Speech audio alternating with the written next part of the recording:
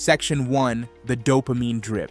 Your brain doesn't release its biggest hit of dopamine when you make the shot. It releases it in the moments before, when you're standing over the ball, when anything is still possible, when you're about to pull the trigger. This is the hidden mechanism that makes golf neurologically addictive, and it's the same pattern that keeps people glued to slot machines for hours. Dopamine isn't just the pleasure chemical. It's primarily involved in motivation and reward prediction and neuroscience has proven that your brain releases more of it during the anticipation of a reward than when you actually receive the reward. The walk from your cart to the ball, the practice swings, the moment you address the ball and visualize the shot, this entire ritual is flooding your brain with dopamine. You're getting high on possibility, not results. Here's where it gets devious. Golf operates on what behavioral psychologists call a variable ratio reinforcement schedule. B.F. Skinner began studying this pattern in the 1930s and demonstrated through the 1950s that it produces the highest response rates and most persistent behavior of any reinforcement pattern known to science. You don't get rewarded every time you perform the behavior. The rewards are unpredictable and intermittent. A slot machine pays out randomly. A golf swing produces a perfect shot randomly, and your brain cannot resist this pattern. Tour professionals hit roughly 8 to 12 shots per round that feel perfectly struck. For amateur golfers, that number drops to just a few per 18 holes. You're playing a 4-hour round with 80 to 100 swings, and only a handful will feel exactly right. But every single swing before those perfect ones is pumping anticipatory dopamine into your system. Every address of the ball is another pull of the lever. Every setup is another bet that this might be the one. This is why you can hit 95 mediocre shots and still walk off the course thinking about the handful of good ones. Your brain isn't remembering the round accurately, it's remembering the dopamine hits. Section 2 The Near Miss Hijack. That putt that stopped one inch from the hole, that drive that landed two feet into the rough, your brain didn't process those as failures. It processed them as wins that were stolen from you, and that changes everything. Neuroscientists call this the near miss effect, and it's one of the most powerful psychological traps in human behavior. When you experience a near miss in golf, a ball that lips out of the cup, a shot that just catches the edge of a bunker, a drive that misses the fairway by inches, fMRI studies, including research by Clark and colleagues published in 2009, show that your brain's ventral striatum and insula light up. These are the exact same regions that activate when you actually succeed. Your brain is treating an objective failure as if it were a win that got away. This creates cognitive dissonance. You did everything right, your setup was perfect, your swing felt pure, the ball was tracking exactly where you aimed, and then it didn't go in. Your brain can't reconcile this. It interprets the near miss as evidence that you're close to mastery, that success is just one more attempt away. So it floods you with motivation to try again immediately. Here's why this matters. Research shows that near misses are more memorable than actual successes. Your brain prioritizes experiences that are surprising or difficult to explain. A routine par is forgotten by the next hole, but that birdie putt that caught the edge and spun out, you'll replay that shot in your mind for days. You'll think about it at work. You'll visualize what you should have done differently, and you'll feel an urgent, almost physical need to get back to the course and correct it. This is why bad rounds haunt you more than good rounds satisfy you. Your brain isn't keeping an accurate scorecard, it's cataloging stolen victories and demanding you return to claim them.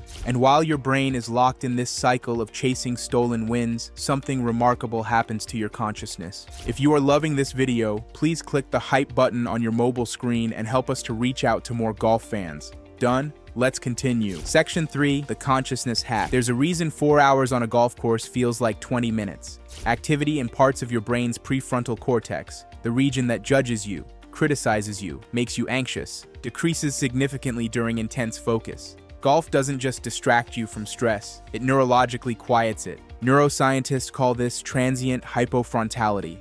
During intense focus on a golf shot, the prefrontal cortex, responsible for self-awareness, time perception, and executive function, shows measurably reduced activity on brain scans. This is the part of your brain that worries about your job, replays embarrassing moments from 10 years ago, and tells you you're not good enough, and golf quiets it down.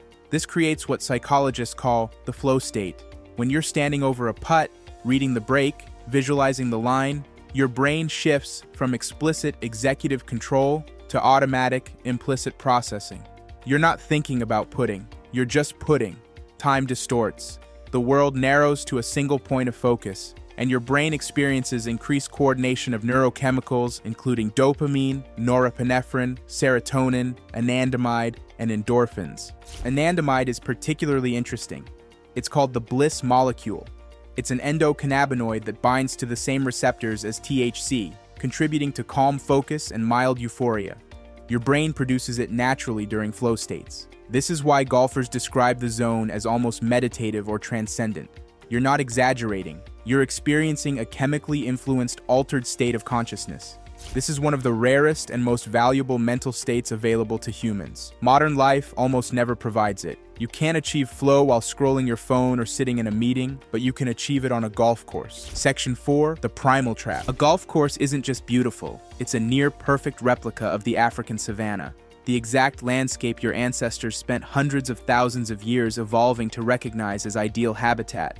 Wide open grassland, scattered trees, water sources, your DNA sees this and recognizes safety, abundance, home. Biologist E.O. Wilson called this the biophilia hypothesis. Humans have an innate tendency to seek connections with nature and living systems. It's hardwired into our biology. And the savanna hypothesis takes this further. Research shows that humans across all cultures instinctively prefer landscapes with specific characteristics. Open spaces that allow you to see approaching threats, scattered trees that provide shelter and vantage points, visible water sources that signal survival. These are the exact features that kept our ancestors alive for hundreds of thousands of years. Golf course architects naturally align with these preferences. Every championship course features rolling fairways that mimic grasslands. Strategic tree placement provides visual interest and perceived safety. Water hazards aren't just obstacles, they're psychological anchors that make your nervous system recognize the environment as resource rich and desirable and this has measurable effects on your body. Research by Twohig Bennett and Jones published in 2018 analyzed data from multiple studies and found that exposure to green spaces significantly reduces cortisol, the stress hormone, and lowers heart rate and blood pressure. Your body physically relaxes in these spaces. Environmental psychologists call this the restorative effect. Natural landscapes don't just look good, they actively repair your mental state. This is why you feel different the moment you step onto a golf course. Your brain is responding to deep evolutionary programming, and it wants to stay there. And while you're standing in this engineered paradise, your body is being rewired at the cellular level. If you are loving this video, subscribe to our channel and help us reach 5,000 subs by month's end. Section 5. The Physical Imprint. Every pure strike you've ever felt, that perfect compression, that effortless sound, has carved a neural pathway in your brain. Your nervous system has a blueprint of that feeling, and it will spend the rest of your life trying to trace it again. This is motor learning at the cellular level.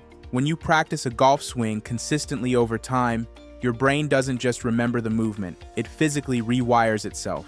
The process is called myelination. With repeated practice, your brain wraps the neural pathways involved in that motion with a fatty substance called myelin. But here's what makes golf uniquely addictive. The sensory feedback from a perfectly struck shot is extraordinarily specific. Proprioception is your body's sense of position and movement in space. When you hit a pure 7 iron, when the club compresses the ball exactly right, when the divot starts just after impact, when the sound is crisp and clean, your proprioceptive system sends a flood of precise feedback to your brain. This feeling is so distinct and so pleasurable that your nervous system creates a detailed sensory memory of it. Your basal ganglia, the brain region responsible for habit formation, takes this information and builds automatic patterns. Through repeated practice, the movement transitions from something you consciously think about to something your body just does. Colloquially called muscle memory, but the adaptation actually resides in neural circuits. Your motor cortex, cerebellum, and basal ganglia have physically reorganized themselves around this skill. And once these neural pathways are built, they're remarkably persistent. You can take years off from golf, and when you come back, the fundamental swing pattern is still there. Though performance may need refinement, the brain has stored the blueprint, and every time you step onto a course, your nervous system is trying to recreate that perfect sensory experience. So you've got the chemical drip, the stolen winds, the consciousness hack, the primal paradise, and the physical rewiring. But there's one final reason you'll never escape. Section 6 the perfect storm. Golf isn't addictive because of one mechanism. It's addictive because it's one of the most behaviorally reinforcing recreational activities ever studied, where multiple addiction mechanisms fire simultaneously. And once you've invested hundreds of hours and thousands of dollars, your brain won't let you admit it might not be worth it. In addiction science, the most powerful behavioral patterns occur when multiple reinforcement mechanisms work together. Positive reinforcement from the dopamine hits. Negative reinforcement from the frustration of near misses that demands correction. The flow state that provides psychological escape. The environmental restoration that calms your nervous system. The physical rewiring that makes the skill persistent. All of these systems are operating at once, each one amplifying the others. And then there's the social component, a typical round of golf takes four to five hours. You're spending that entire time with the same group of people, walking together, talking between shots, sharing the experience. Research on prolonged positive social interaction suggests this likely increases oxytocin, the bonding hormone, which strengthens emotional connections and creates feelings of belonging. This is why business deals happen on golf courses. This is why friendships formed through golf feel different. You're not just playing a game together, you're undergoing a shared bonding experience. Now add the sunk cost fallacy. The average golfer spends around 2,000 to $2,500 per year on the sport, according to industry data. Equipment, green fees, balls, apparel. A new driver can cost 500 to $600. A full set of clubs ranges from 800 to $2,000 or more. You've invested this money, you've invested hundreds of hours practicing and playing, and your brain is wired to avoid admitting that investment was wasted. This is escalation of commitment. The more you invest, the harder it becomes to walk away, even if you're not improving or even enjoying it as much as you used to. Your brain has been chemically conditioned to crave the anticipation. It's been tricked into seeing failures as stolen victories. It's experienced a rare state of consciousness that modern life almost never provides. It's been placed in an environment that your evolutionary history recognizes as ideal. It's been physically rewired at the neural level. It's bonded with other people through prolonged social interaction, and it's psychologically trapped by the resources you've already committed. This isn't one addiction, it's six addictions wrapped into a single four hour experience, and your brain never stood a chance. So the next time someone asks why you're obsessed with a game where you hit a ball into a hole, you can tell them the truth. It's not about the score, it's about the dopamine drip, the near miss hijack, the consciousness hack, the primal trap, the physical imprint, and the perfect storm of neurological and psychological mechanisms that make golf one of the most behaviorally reinforcing activities ever studied. Your brain was built to crave this, and now keep enjoying our next video here.